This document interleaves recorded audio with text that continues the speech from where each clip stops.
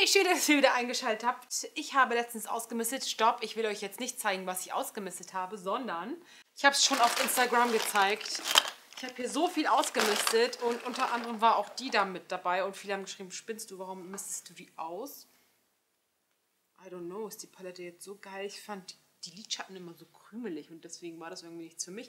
Aber viele haben geschrieben, die Highlighter sind der, der, der, der Shit, deswegen habe ich das jetzt behalten. So, also, los geht's. Und zwar hatte ich eine Videoidee. Ich weiß nicht, ob es das schon mal gegeben hat, weil ich muss jetzt auch sehr ehrlich sagen, ich habe jetzt nicht eine Million YouTuber äh, abonniert, sondern das sind immer nur so ein Dutzend, die ich abonniert habe und die ich immer, immer wieder gucke.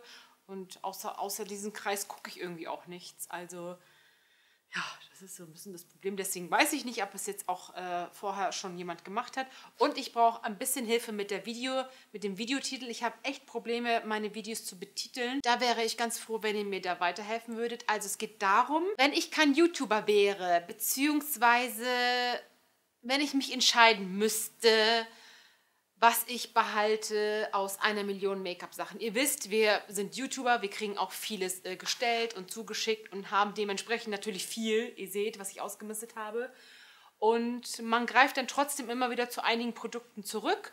Und ja, meine Videoidee war so, wenn ich nicht YouTuber wäre, was hätte ich dann in meiner Schminksammlung? Und ich habe versucht, mich auf einige Sachen zu konzentrieren. Und mit diesen Sachen habe ich übrigens heute auch mein Gesicht geschminkt. Zeige ich euch das jetzt alles und da sind ein paar interessante Produkte dabei. Und es war wirklich sauschwierig, sich da zu entscheiden. Sauschwierig. Und wir fangen mit der Base natürlich an, die ich euch jetzt zeige. Ich habe natürlich mehrere Bases zu Hause und musste mich jetzt dafür eine entscheiden, wo ich sage, okay, ich glaube, ich würde die benutzen. Und zwar ist das die Base von Fenty Beauty. Ich finde einfach, die harmoniert am besten mit dem, Make mit dem passenden Make-up dazu. Ich glaube, die war ein bisschen teurer. Die Base, die hält einfach Bombe und bin bis jetzt mega angetan. Ich habe sie natürlich wieder im Ausland bestellt, weil bei uns hat Sephora übrigens auch keinen Online-Shop und so. Das ist total bescheuert. Sowieso gibt es das hier auch gar nicht. Und ja, das, ich finde es immer blöd, so an Sachen ranzukommen, versteht ihr? Dieses uh, uh. Und man will ja immer alles haben, was man dann sieht bei anderen YouTubern ne? und denkt so, oh, wie geil. Zum Beispiel jetzt, oh, die Norwina Palette, die muss ich haben. Ja, wie kommst du da jetzt dran? Gar nicht. Das ist immer so ein bisschen das Problem. Äh, und deswegen habe ich mir auch überlegt, welche Möglichkeit habe ich, die andere YouTuber aus Deutschland momentan nicht haben. Und zwar habe ich mir doch gedacht, ein bisschen back to the roots. Wie wäre es eigentlich mit Full Face Pastell, Full Face Flormar. Das sind ja auch sehr, sehr interessante Marken und ich weiß auch, dass es sehr viele türkische Zuschauer gibt, beziehungsweise sehr viele Leute, die auch in die Türkei verreisen zum Urlaub. Vielleicht würde euch das interessieren. Also da hätte ich jetzt mega Bock drauf, äh, Full Faces mal wieder zu schminken und ihr seht, es soll jetzt nicht eingebildet klingen, aber ich habe es immer noch drauf. und ja, wir machen einfach weiter mit dem Make-up. Und zwar, ich hätte mich entschieden für die Fenty Beauty das passende Make-up dazu. Ich habe übrigens die Farbe 200. Ich muss sagen, die dunkelt ein bisschen nach. Deswegen würde ich euch empfehlen, immer eine Farbe heller zu kaufen, weil sie oxidiert mit der Luft.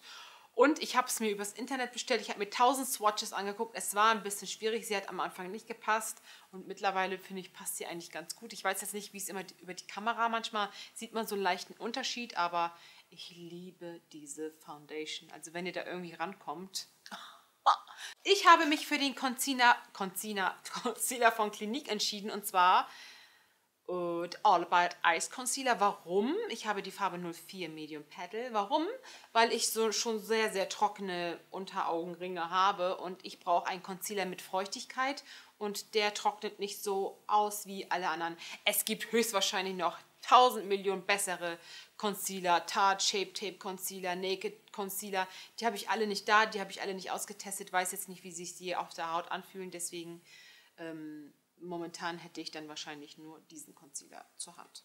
Ich muss gerade sagen, es ist so befreiend, wenn man nur eine Tasche voll mit Make-up hat, anstatt hier so ein, ich habe noch das Dreifache drüben und ich muss einfach weg damit, weil es wird auch irgendwann alt und vergammelt und das liegt da und du benutzt es sowieso nicht und Das heißt jetzt nicht, dass ich undankbar sein will oder sonstiges, aber es ist einfach, Leute, es ist zu viel. Das heißt nicht, dass die neuen Filme mir nichts zuschicken sollen. Nein, ihr könnt gerne schicken, weil ich liebe das eigentlich auch, neue Sachen auszuprobieren und dann meine Favoriten eventuell auszutauschen. Aber dann würde ich jetzt weitermachen mit dem Puder und zwar ist das auch von MAC. Das ist das Medium Plus Mineralized Skin Finish Puder. Das habe ich jetzt schon seit längerem und das mag ich eigentlich sehr, sehr gerne. Ich muss sagen, ich benutze nicht so oft Puder, aber wenn ich dann was benutze, dann greife ich immer zu dem zurück. Aber was gleich interessant sind, ist die Paletten. Das sind nämlich Paletten, die ihr wahrscheinlich vorher noch nie gesehen habt. Interesting, interesting. Dann machen wir weiter mit einer Augenbase und zwar habe ich da den Paintpot natürlich vom MAC, Soft Ocre. Und äh, den hatte ich ja schon mal und den hatte ich über Jahre, Leute.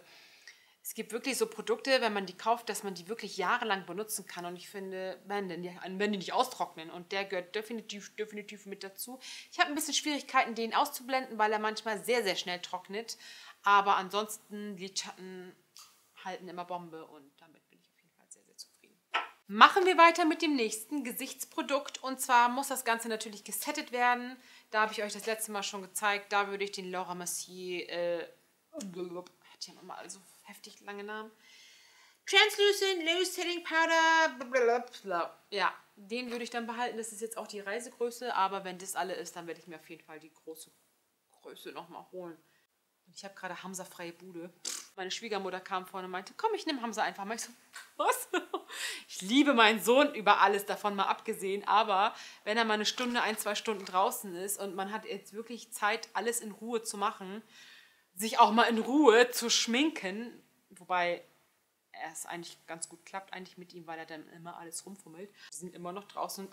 Das ist für mich gerade echt entspannter als immer diese schnelle, oh, jetzt muss ich das abdrehen, weil er heult gleich und so. Ihr merkt es wahrscheinlich auch manchmal, wie angespannt ich dann einfach bin. Und jetzt bin ich gerade so oh, total chillig und habe keinen Zeitdruck und das Video kann 100 Minuten gehen. ja, ihr wisst, was ich meine. So, bei Blush, da habe ich mich jetzt für zwei entschieden, weil ich nicht wusste. Und zwar auf jeden Fall den Baked Blush von Milani. Das ist dieser in der Farbe 05 Luminous. Den habe ich mir, als ich mit Hatice in America war, in der Drogerie gekauft und ähm, der ist so schön. Was mich allerdings ärgert, ist damals, ähm, das wissen viele wahrscheinlich gar nicht, das war vor fünf, sechs Jahren, als Milani noch relativ neu war, und Milani ist, finde ich, eine sehr, sehr tolle Marke, habe ich das mit einem Kollegen aus, ähm, aus Amerika, wir haben das nach Deutschland gebracht, für kurze Zeit einen Online-Shop, der auch eigentlich relativ gut lief. Aber ich weiß jetzt gar nicht, was da damals so genau abgelaufen ist. Aber es war einfach dieses, oh, jetzt kommst du mit im Online-Shop und du willst uns doch nur abkassieren und hier und da. Und das war eigentlich so gar nicht so mein Grundgedanke, sondern ich wollte einfach diese Produkte anbieten. Und ja, mittlerweile weiß ich gar nicht, ob man die jetzt in Deutschland bekommt. Aber da war ich schon so ein bisschen schade, dass ich dann nachher nicht auf mein eigenes Gefühl gehört habe, sondern eher auf die Kommentare von einigen Menschen. Und ja, deswegen habe ich dann leider das Geschäft dann irgendwie aufgegeben, weil ich gedacht habe, okay, alle finden das scheiße, dass wir jetzt Milani hier nach Deutschland geholt haben. Und irgendwie hatte ich jetzt null positive Resonanz. Und deswegen, ja, und jetzt natürlich 2018 ärgert man sich darüber so ein bisschen. Aber das ist halt Schicksal und das hätte vielleicht so sein sollen. Aber auf jeden Fall äh, Milani-Sachen finde ich wirklich sehr, sehr toll und fand ich damals schon toll.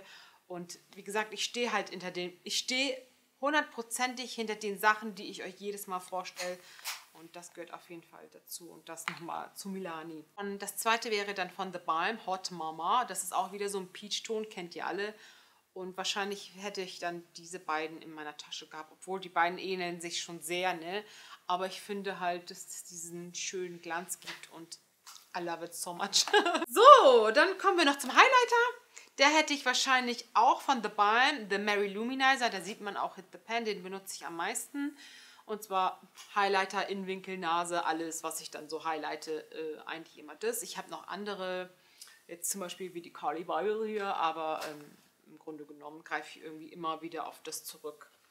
So, dann natürlich noch das Fixierspray für das Gesicht. Das habe ich euch jetzt ein bisschen umgefüllt. Äh, in eine andere Spraydose, weil die halt mir nicht so, also liebes Mac-Team, bitte mach doch da mal was. Das sind doch so viele Leute, die sich da ständig drüber beschweren, dass das nicht fein genug sprüht. Da kann man doch bestimmt was machen. Auf jeden Fall äh, liebe ich das und das fixiert dann alles nochmal extra. Und falls ihr einen Tipp haben möchtet, wie euer Make-up im Sommer extrem lange hält, sprüht ein bisschen in euer Make-up mit rein und dann erst auftragen, dann hält das auf jeden Fall Bombe. Wollen wir zu den Lidschatten kommen? Okay, wir kommen zu den Lidschatten und dann zu den letzten anderen Produkten noch. Ah, da hätte ich wahrscheinlich äh, mehrere Paletten gehabt. Und zwar ähm, habe ich mir mal vor Monaten was bei AliExpress bestellt. Yes, also nicht bei Wish oder sonstiges, sondern bei AliExpress. Und zwar hat eine Palette damals 10 Dollar gekostet. Das waren umgerechnet weniger als jetzt, weil bei uns in der Türkei ist momentan Höhenflug, Dollar und Euro. Es ist echt heftig. Also ich kann da gar nicht so viel sagen dazu. Ich weiß jetzt gar nicht, ob diese Paletten hier noch extra Namen haben. Okay, und zwar ist das von der Marke Focalure, keine Ahnung. Äh, so sieht die aus. Die hat, als ich die bei AliExpress gesehen habe, hat die mich sofort an diese äh, Huda Beauty Paletten erinnert. Man sieht direkt. Sind noch nicht alle Farben benutzt, aber das ist die Palette 02 Neutrals. Und die gefällt mir eigentlich ganz gut. Und was ich heute zum Beispiel drauf habe, ist das, das und das. Die drei Farben. Ich bin immer noch so ein bisschen unschlüssig, ob die so gut sind oder... Also eigentlich... Kein Spiegel, Leute. Ne? Da kann man wieder diese Sticker reinkleben, die ich mir letztens gekauft habe. Äh, deswegen wahrscheinlich auch so günstig. Also die Palette gefällt mir eigentlich ganz gut. Einige Farben lassen sich gut auftragen, einige weniger. Und zwar sage ich euch jetzt, das ist die andere Palette, auch dieselbe Marke. 01 Bright Lux heißt diese Palette. Zum Beispiel die mit, mit den matten Farben komme ich eigentlich ganz gut zurecht. Nur ich finde so einige der Schimmerfarben, die sind so krümelig auf dem Auge drauf. Also die krümeln nicht beim Auftragen, sondern die sehen so komisch butterig, so komisch auf dem Auge aus, finde ich. Und die sind halt nicht alle was für mich. Und die andere Palette ist auch von derselben Marke, die Twilight Palette.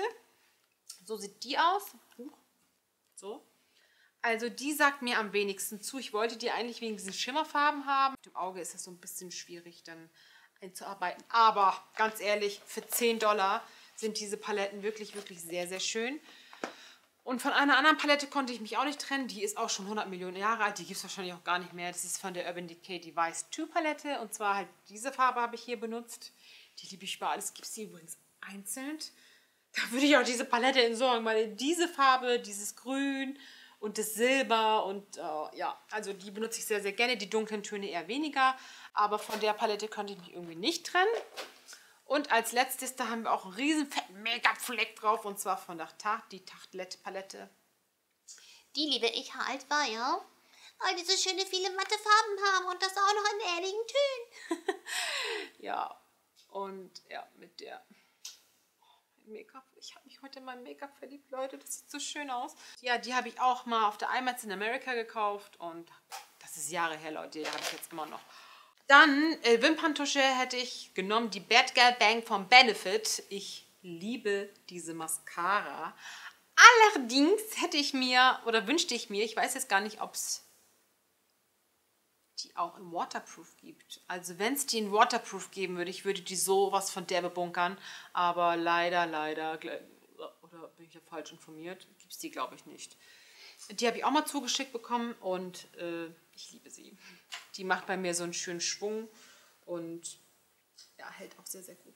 Dann habe ich hier äh, einen Eyeliner von NYX und zwar mag ich den sehr, sehr gerne, weil der sehr fein ist. Also man kann damit sehr fein arbeiten und auch sehr dick. Also man kann beide Varianten arbeiten und auch den trage ich heute und mit dem bin ich sehr zufrieden. Und auch weil er so klein und handlich ist, gefällt er mir sehr, sehr gut. So, bei den Augenbrauenprodukten konnte ich mich leider nicht entscheiden. Und zwar sind zwar beide Produkte von Anastasia Beverly Hills. Einmal haben wir hier die Dip Brow Pomade. Pomade. Brow Pomade kennt ihr alle. Das Problem bei der ist halt einfach, dass die halt mega schnell austrocknet. Ich habe auf der Seite die Pomade aufgetragen. Es hält halt Bombe, ne? Und auf der anderen Seite habe ich äh, das Puder aufgetragen und zwar in der Farbe Ebony habe ich hier. Da ist es halt manchmal, wenn man mal so irgendwie was gegenkommt oder so, dass das Puder dann natürlich irgendwie nicht mehr da ist. Und da hält es ein bisschen Bombe. Deswegen konnte ich. Manchmal mag ich das Puder ein bisschen mehr, manchmal das andere ein bisschen mehr. Aber ich glaube, ich müsste mir schon äh, das nochmal neu holen, weil das halt sehr, sehr schnell austrocknet. Einige sagen, tropft doch ein bisschen Öl damit rein, aber ich glaube, das verändert dann mega die Konsistenz und wäre dann nicht so schön. Jetzt haben wir nur noch ganz, ganz wenig Leute und zwar Kajalstift. Da habe ich das zweimal, weil die beide schon fast am Ende waren. Jetzt kommt wahrscheinlich noch ein dritter dazu. Und zwar ist das der MAC Eye von MAC in der Farbe Smolder. Und das ist jetzt schon das zweite Mal oder das dritte Mal, dass ich das kaufe. Und der hält einfach den ganzen Tag. Manchmal ist es so, dass am Ende des Abends vielleicht so ein bisschen hier so am unteren Wimpernkratz ein bisschen ausgelaufen ist. Aber kein anderer hält bei mir so lange wie der vom MAC. So, dann äh, Wimpernkleber hätte ich den von Duo gehabt, habe ich auch immer noch. Jetzt kommen wir noch zu den Lippenprodukten. Jetzt kommen wir noch zum Schluss. Das Beste kommt fast zum Schluss, weil ich habe hier noch die Konturpalette von Too Faced. Also ich mag ja immer halt so kompakte Sachen und deswegen äh, diese Konturpalette. Und da habe ich nämlich alles in ein. Bronzer, Kontur, Highlighter eigentlich und Aufheller und mit Pinsel zusammen. Da bin ich also dies ist momentan my holy grail. Und zu den Lippenprodukten hätte ich wahrscheinlich, aber ich mag auch sehr gerne die Superstay Lippenstifte, auch von Maybelline. Ihr habt so Glück, weil ihr alle Farben da habt. Wir haben halt nicht, nicht alle Farben. Und ich habe, glaube ich, Maybelline auch angeschrieben, ob sie mir bitte die Farben zuschicken können. Aber da kam bis heute keine Reaktion. Ja, also da hätte ich gerne die Auswahl, die ihr habt, hätte ich hier auch gerne. Ich hätte mir das auch selber gekauft, aber wie gesagt, ich komme da momentan einfach nicht dran. Und ich hätte halt viele matte Lippenstifte, denke ich, wie zum Beispiel die NYX Lingerie-Reihe oder sonstiges. Ursprünglich wollte ich heute eigentlich diesen Lippenstift hier auftragen, weil das mit dem Lila hier so schön harmoniert. Aber da dachte ich mir so, okay, dein Make-up ist schon on, on fleek. Da brauchst du nicht noch äh, so einen harten Lippenstift und Lila macht halt die Zähne immer sehr, sehr gerne gelb. Wie hat es euch gefallen? Lasst mir bitte äh, euer Feedback da. Vergesst mir auch nicht einen Daumen hoch zu geben, weil ich habe eine sehr, sehr kleine, faule Community. Deswegen muss ich euch leider ein bisschen immer mehr darauf aufmerksam machen. Also es würde mich freuen, wenn ihr mein Video natürlich auch einen Daumen hoch gebt, weil ich versuche wirklich... Ähm, auch andere Sachen zu zeigen, andere, nicht diese 0815 Videos zu drehen. Und ich hoffe, ihr merkt das auch. Und ja, dieses Video hat mir heute wirklich besonders viel Spaß gemacht und ich würde mich natürlich freuen, wenn ihr meine anderen Videos auch guckt. Da haben das wahrscheinlich einige wieder verpasst. Ich weiß auch, dass wir sehr, sehr viel im Urlaub sind momentan und einfach nicht gucken. Und es ist sehr, sehr hot in Deutschland und die Leute haben natürlich was anderes zu tun, als jetzt mein Video zu gucken. Kann ich natürlich verstehen. Aber ich würde mich freuen, wenn ihr die alten auch nochmal guckt. Und dann würde ich sagen, würde ich mich freuen, wenn ihr mir was Schönes hinterlasst. Dann würde ich sagen, bis zum nächsten Mal. Danke fürs Einschalten und bis dann. Tschüss.